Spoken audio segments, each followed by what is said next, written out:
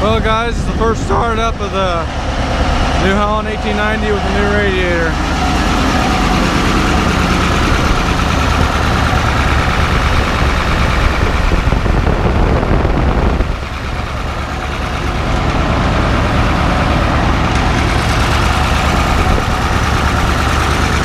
Then we still gotta put some uh,